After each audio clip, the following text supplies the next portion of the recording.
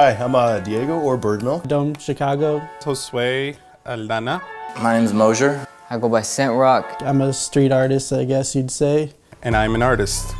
I, I, yeah, I'm an artist. I'm part of um, artistic bombing crew, one of the first generations that starts doing graffiti art on the rooftops along the blue line. Very early, we knew what we were doing, which was the evolution of the tag. And that's why I say that there's a difference between street art and graffiti. I always tell people when they ask what's street art, I just tell them it's art for people on the streets. Street art is a message, isn't a message, is a sticker, isn't a sticker, but it is the progression of getting messages out. I think what most people think of when they think of street art uh, immediately it was like ubiquitous was clandestine. It was like one of those things that was already in the urban landscape and i was just you know gravitated towards uh, a lot of the uh, artesanos. I was really gravitated towards um, a lot of the uh, graffiti writers in mexico. What we do graffiti artists we are practitioners of the evolution of the tag. The tag is the font in the computer, F-O-N-T. Uh, the tag has evolved into a piece, and that piece has structure, it has arrows, it has doodads, it has auras, it has 3D, it has its own language. The tag starts with style. They have balance and flow in them. And what you see on one side of the tag, you're gonna see on the other side of the tag. The same as uh, with a graffiti piece you know, the inspiration that came from me, like I grew up a little hood kid, so being out in the streets all the time, riding my bike everywhere, seeing gang graffiti, seeing just graffiti art, seeing uh, bandos that had full-on pieces, stuff like that is what inspired me. Seeing neighborhood uh, hit ups, you know what I mean? To me, that always inspired me. So that's really that's really where I got it from. Being outside and being the art that was outside on the walls, that's where I wanted to, I wanted to be a part of that. I was living in Avondale and I was um, just would walk around Logan Square and just like look up at all the like the stickers everywhere and I was like so amazed by just like the different characters like the you know different artists had like their own specific characters and stuff like that um, and just seeing that really made me want to just like be a part of that so I developed my little Bird Milk character and then just kind of started putting stickers up all over signs. I was especially into Disney when I was a kid. I wanted to be like a Disney animator. Um, and then like growing up as a teenager, I got like into like underground comics and stuff like that. Definitely a lot of like Robert Crumb, uh, anything by like Fantagraphics or Slave Labor Graphics, all kinds of stuff like that. Weird cartoons like, you know, Ren and Stimpy and stuff like that. I've always been just huge into cartooning influences, you know, like Adventure Time, Simpsons, um, any of those regular shows, just like growing up, Ninja Turtles was probably my, my favorite growing up, absolutely. The first time I was introduced to street art, art and graffiti, that stuff, um, I've always seen like tags and stuff in the back of the movies. And so that was kind of my introduction into it because I lived in the suburbs my whole life, so there's none of that out there. But I needed a, a way to do it and do it quickly. And while I was out in the city, um, get up as much as I could and as quickly as I could and the best way I found to do that was with stickers. Uh, when it comes to art, any way I can express uh, an idea or message, like I'm gonna go for it. Whether it's stickers, I started off doing a lot of slaps, you know, early on. Did some wheat paste, do little quick bombs here and there. We knew right away in Chicago that we were onto something different, you know, because in the early stages, the only thing that you would see it was these dark murals, you know, eerie murals, um, the black and blue, the black and white, the black and blue, yellow. These are uh, all gang colors, and people would tend to do murals in those, and, and they're very dark. Whereas graffiti, we were brightening up. It was very bright blue, yellows, pinks, colors that we never were supposed to use because of the male perspective that we are. You know, we're not supposed to be using pinks and purples, but you go pinks and purples are the best of blends too.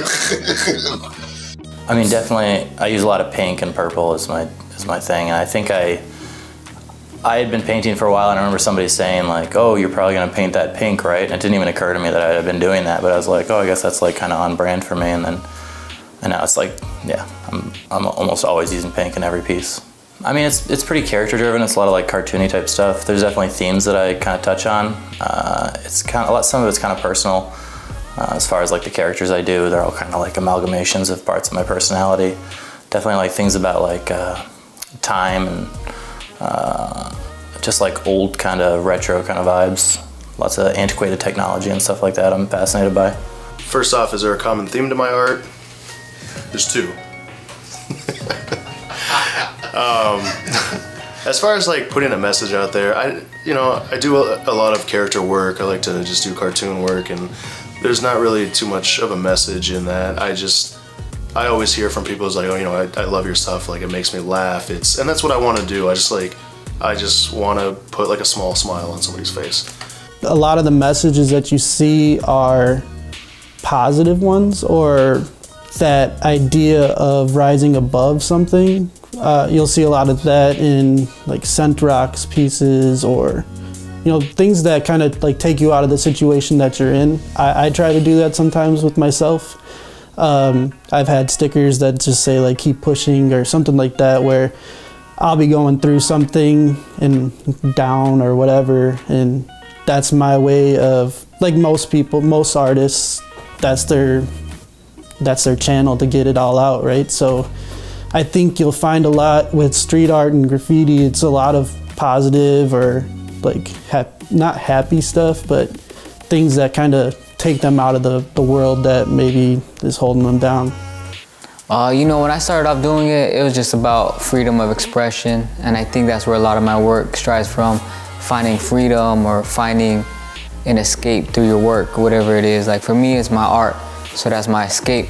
And that's why I do a lot of uh, bird mask characters because that represents somebody that wants to be able to fly away or escape or get away. And that's, that's what has drove me to do my work, you know? So I think that's the underlying theme of a lot of my stuff, but also just reflecting my culture too. Because if you look at Chicago, um, I always say it's so divided. It's divided by the viaducts. Every time you pass the viaducts, change uh, the national nationality of the neighborhood changes. Well, graffiti, being on the rooftop, we were above those viaducts. We were zooming right by them. And um, to, to be 16, 17, and leave my neighborhood and go all the way to the south side and meet other graffiti artists, phenomenal at the time. It's, there's no internet. There's no way to meet up. It's just the, the, the transit line was our internet the tag was our ID, and um, that's how we met. You know, it was it was strange. There's always connection. There's always you know the the writers that knew each other, um, and there's just the community was smaller. But now with social media, social media being what it is, I feel like it's it's an unstoppable thing. Before it was just like word of mouth and knowing who you know and connecting that way. But I think if they had it back when graffiti started, or I think that they would have took advantage of it. I started doing stickers and getting to where I'm at now, which isn't even that far in. Um, it's all social media, honestly. Like if I didn't have the the Bird Milk Instagram, then I would not nearly be as far as I am now. I started adding other artists on Instagram. They follow my stuff. They like my stuff. People start inviting me to like gallery shows or um, like my first mural, for example, I was invited by Cosmo to do like the meeting of styles, like the character portion, and that would have never happened had I not had social media. Initially, when I you know started street art, that kind of stuff, um, I was doing it without having any social media, which is I think like what I originally wanted for it, but then I, I found that I was putting it up and I wanted to connect with people. So my girlfriend actually talked me into starting an Instagram and posting things. So I started doing that, and then I found now that I've connected with so many people that are of like mind. Now I feel like I have a connection with the city more so than I have ever had. I've always loved Chicago. I've always loved being here and in it. And even just when I was in the city, it just felt good, right?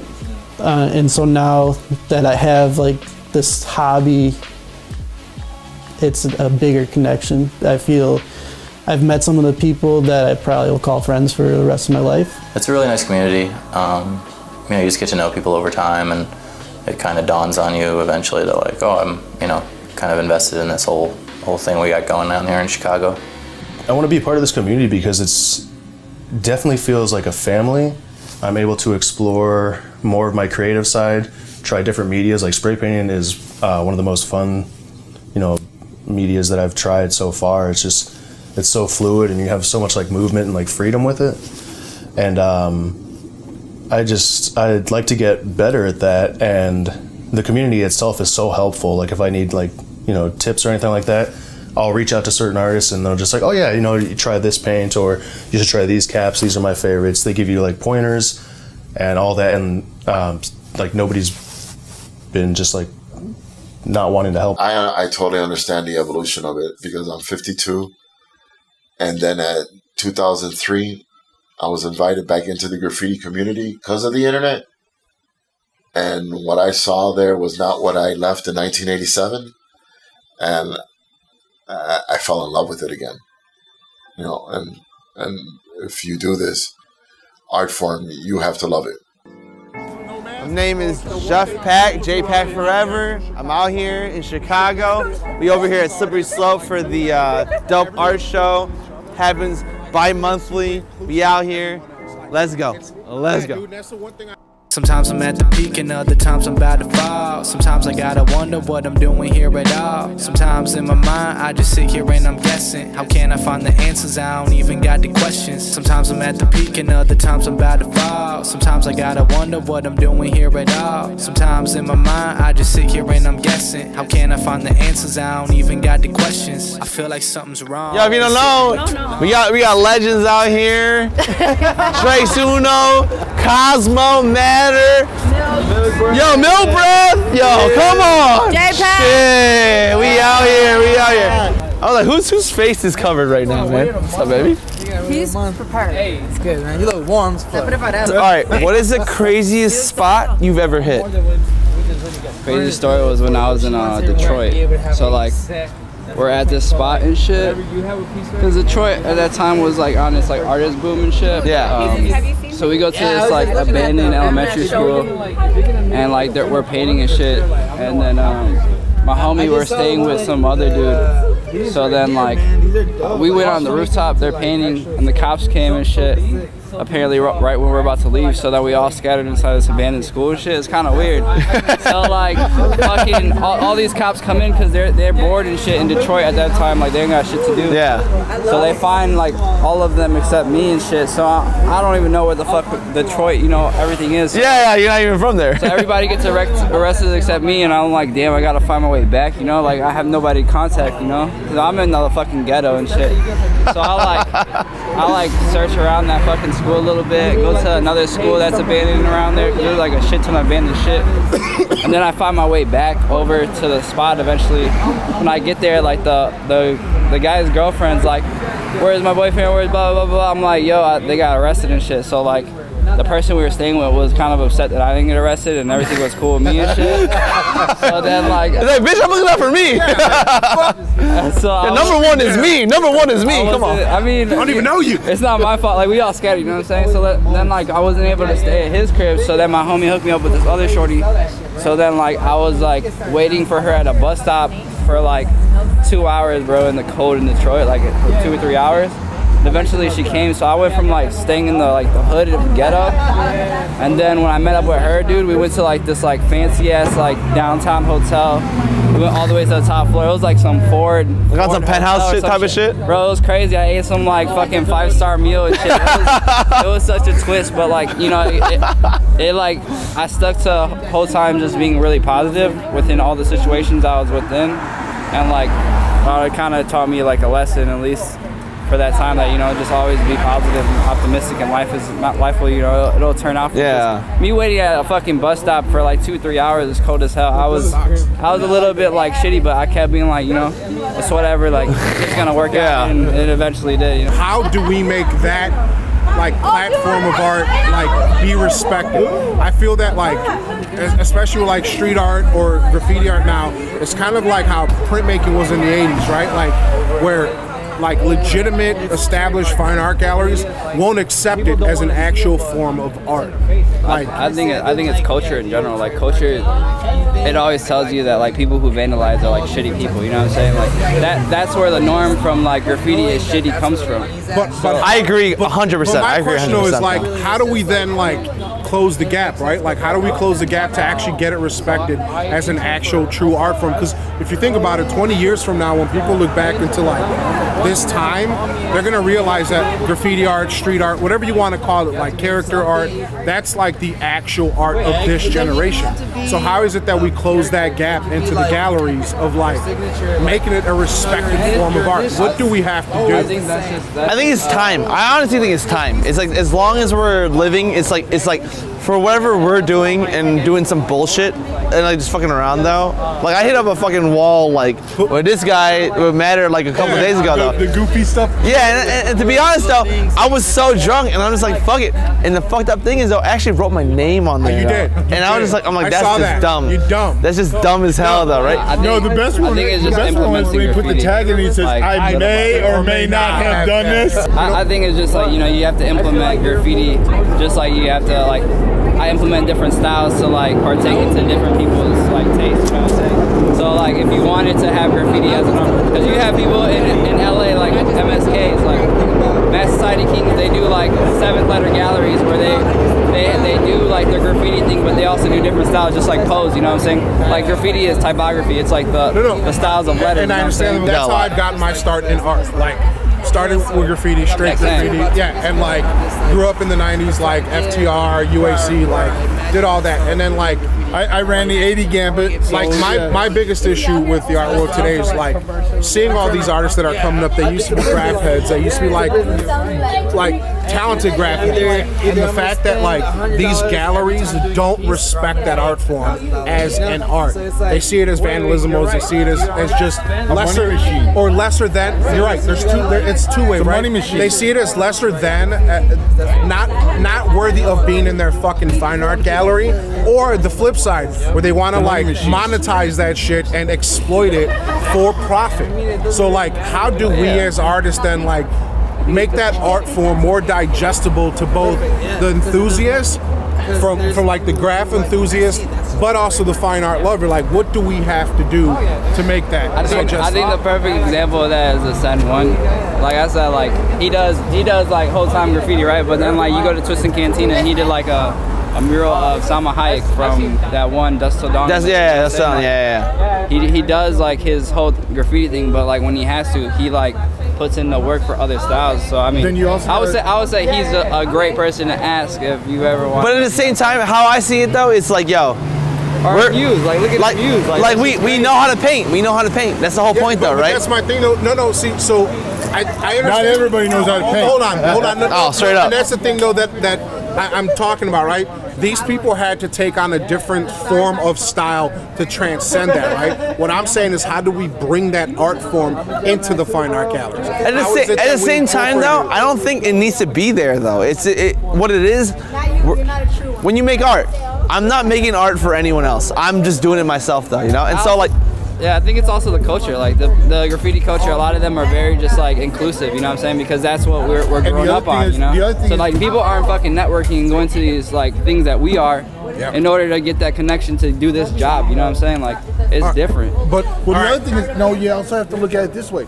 There's a whole within that culture. There's a whole another set. Like in my day, it was. You're old as fuck. Well, yeah, I'm old as fuck. But the thing was, but the thing was, back up, reference. back up, back up.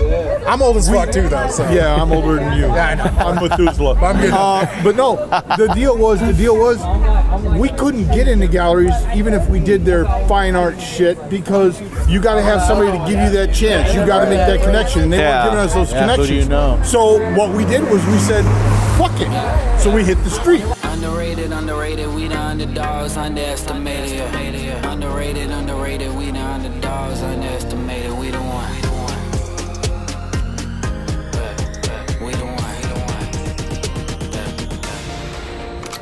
Well, the whole thing with like street art, like uh, you know, it was a it was a good way to get into the art scene because it was so uh, I don't know democratized. I guess like anybody could do it. Anybody could put wheat paste posters up or go buy a can of spray paint and paint on a wall. And so it's uh, very approachable for somebody who you know maybe is threatened by like the uh, gallery scene or whatever. We don't belong in art galleries. The Chicago Graffiti Garden Arena, which is attached to the 606, which we created, it goes back to, let's say, when Nick Sassa first started painting. So when I got to those walls, and it's a, an abandoned train tracks, and I saw the squares and everything of how the panels are laid out, I understood graffiti artists even then don't belong because everything we do is is for the masses. When you see it on the train, we go big, right? Everything is big. We're in we're not supposed to we're supposed to do big art forms in big arenas. The new schooler is always gonna do what he wants, being what it is, and it is vandalism, you know, it is purist. Um, it is a rebel against the system, and which is why we you sometimes see these graffiti artists go hit the murals. Um, they think that that's them rebelling against the system. It has a very like punk rock ethos, so like DIY ethos, and not selling out and stuff like that. Whereas as opposed to street art is like having your street art on like some brand or something isn't really looked at the same way as if you were a graffiti artist did that. Did that? I feel like. I think that there are uh, there are multiple layers in decoding uh, uh, vandalism versus uh, graffiti. Uh, I think of graffiti as more of urban calligraphy, and and vandalism as like little bombs and little tags. There, it's well, it's more of an ego boost, and and we have to really uh, look into the study of why this artist, you know, did this thing so ephemeral, this this tag, and then it just kind of goes away. And and but though sometimes you do have, you know, major like legacy leavers in the graffiti game, leaving these amazing pieces that that are as well ephemeral and they just disappear over time. a city without graffiti or city without like vandalism is kind of like a dead city. So I've always thought that you know the the graffiti, wheat pasting, tag stickers, all that stuff. It um, it's kind of like the lifeblood of the city in a way where um, nobody's gonna come to a part of town that's kind of like boring. Uh, you know, vandal- vandalism in itself can be the art or the expression, but every every artist or everybody draws their lines. Like I know some people get into graffiti just for the vandalism, just for the destruction, and some people get into graffiti because they have that artistic um, brain. They really want to create. And for me, I think I think I've just been in it for the creative side. Um, so when it comes to like tagging on stuff or whatever it is, for me there has to be a sense of um, respect. You know, like if I'm here in this room, I'm gonna respect those around me and everything around me. And I think the same thing when I'm out in the streets, I'm gonna respect if that's somebody's um, situation. You know, I don't want to be super disrespectful because you got to put yourself in the business owner's sense when we get older. But also the business owners have to realize too, like this is Chicago and that's a blank wall and you're out on the main street, bro. Like if it gets tagged, don't take it personal. You know, we're all in this world together. Um, so yeah, it's, it's a fine line, but I think if we had a certain sense of respect for each other, like the business owners respected the art, and then the artists respected, you know, the business owners, I'm sure we could find a happy, happy uh, middle ground there. What I would like to tell them is um, we have progressed. No matter what anybody wants to say at this point in my life, what I am seeing is the progression of the graffiti art. If that is the job of the old schooler, is to get the word out there, I am glad to take it because we need to show the separation of the arts or show how it got here because it got here and now it wants to take off.